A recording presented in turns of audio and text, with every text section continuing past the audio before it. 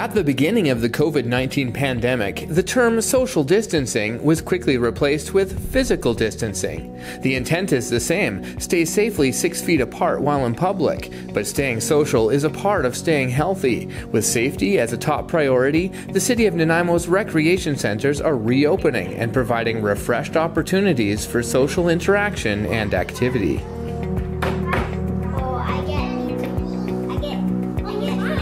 You may already know, but the Beban Social Center is now open. We're going to give you a quick tour, show you some of the things to expect, and how to keep safe in our facilities. When developing our plan, we looked at the Ministry of Health's guidelines and regulations. We went through them and really thought of how to make our facility safer and more clean. As we continue through this pandemic, we'll get more updates from the Ministry of Health and we'll change our plans accordingly. Hi, welcome to the Social Center. Can I get you to wash your hands, please?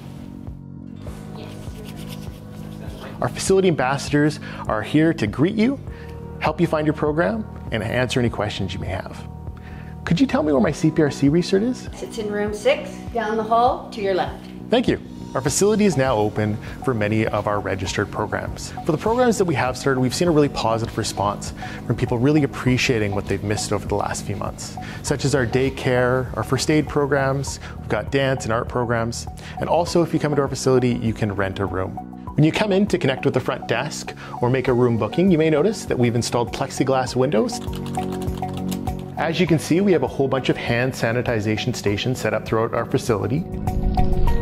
You may notice that our water fountains are closed at this time, but please bring a filled water bottle to keep yourself hydrated. Regardless of whether you enter a facility for a registered program or a facility rental, we're going to make sure that everyone follows the same rules and regulations. We want to make sure that everyone's happy and safe.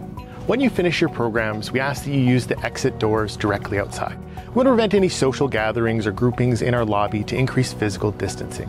It may seem counterintuitive not to socialize at the Beban Social Center, but we're putting these guidelines in place to keep everyone safe. We hope to see you at the Beban Social Center soon. For up to date information on the reopening of the City of Nanaimo's facilities, visit our COVID 19 update page at www.nanaimo.ca.